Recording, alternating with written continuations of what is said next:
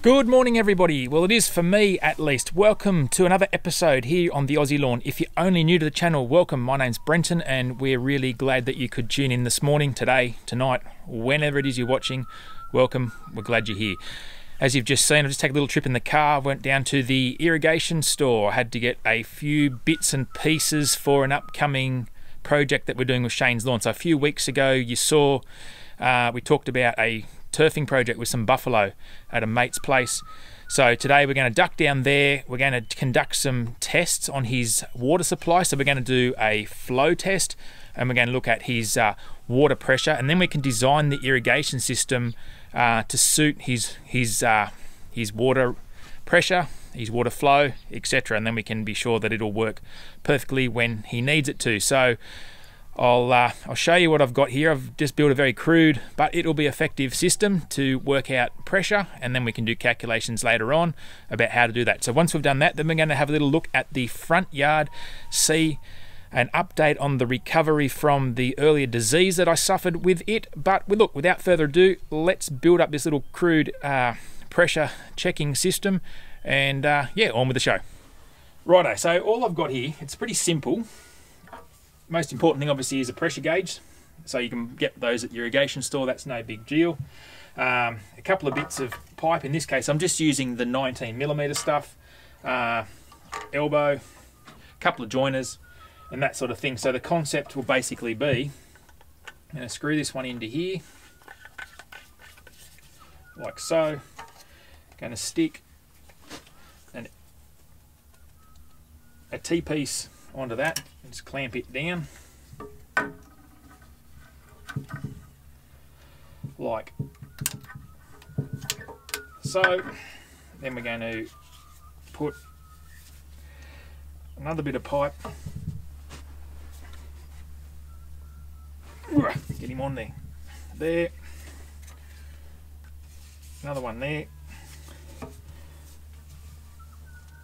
Oh, get it on Righto, so then all we're going to do is put that there, which is going to screw into a tap. So basically, source, water source, and then we're going to have that on there, that tap screwed into there. So basically we can check two things here. We can have this valve shut and we can check static water pressure. So we can check the pressure of the water that's not moving and then we can do the flow test at the same time. So we can connect this into the, the nine litre bucket and time how long it takes to fill that nine litre bucket. That will give us all our calculations for, to uh, correctly work out how many sprinklers we can run on one line, how much they're good for in water delivery, etc. So I'm going to build this up and finish it off and then we'll go around and we'll test it out. Hopefully it'll work just fine.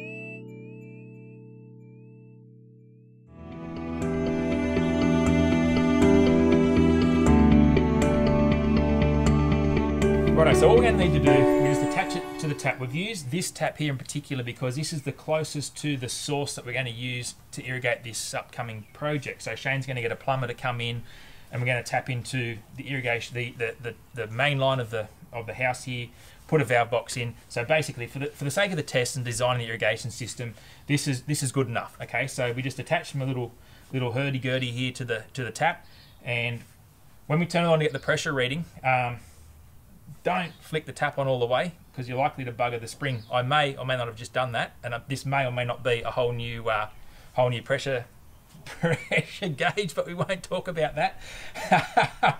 so, slowly turn on your tap.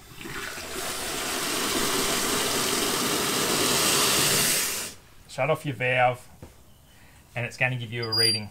So once it levels out, and we're sitting at about not quite 850 kPa, and then what we're going to do is, I'm just going to empty this bucket out. So now we're going to do a flow test. So this is this is actually a 10 litre bucket, but it's got litre increments. So we're going to measure it at 9 litres and take how long it fills. Sorry, take how long, measure, time, time how long it takes to fill the bucket and get a flow pressure rating as well. So let's go. Make sure that's open all the way.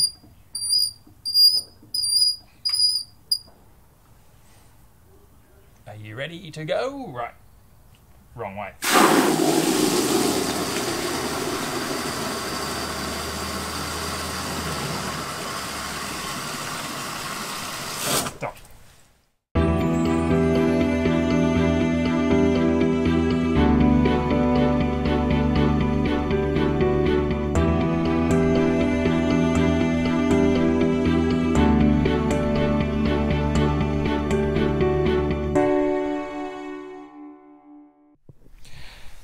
Righto, so back home now, and I was pretty impressed with that with that flow test. They actually have amazing pressure there. I'm actually it's actually spurred me on to see what my water pressure here is at home, so I'll check that out later. But it took nine seconds to fill that nine litre bucket. Basically, that whole area uh, should be able to cover quite comfortably with the one zone. But anyway, look, let's move on now and see how we're going with this front lawn. As I said, we're now sitting on frost as of this morning, frost number 10.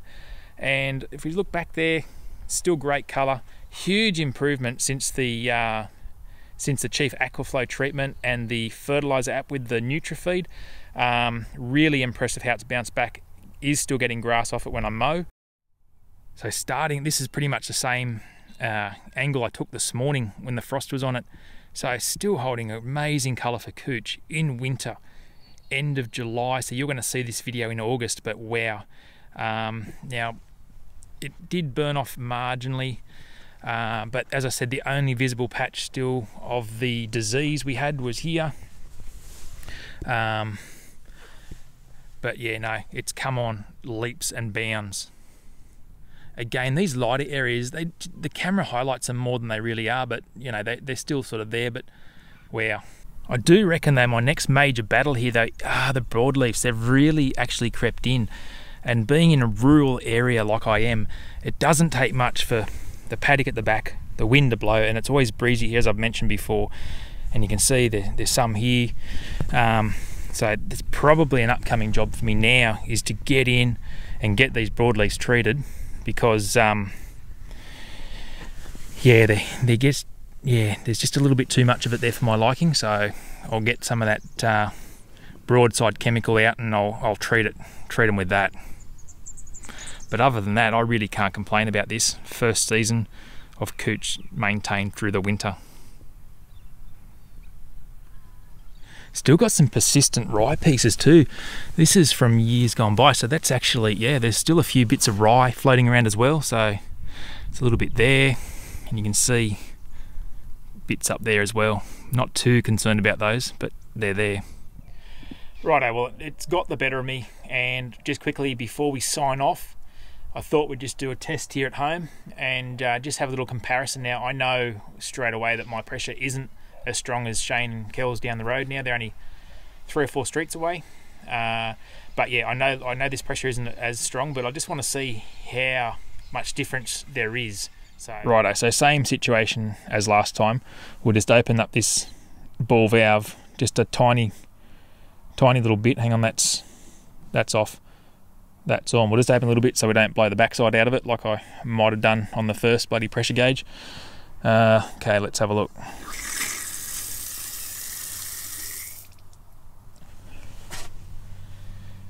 Righto, so just over just over 600. So there's over 200 over 200 kPa difference just in a couple of streets. So that's actually kind of interesting within itself.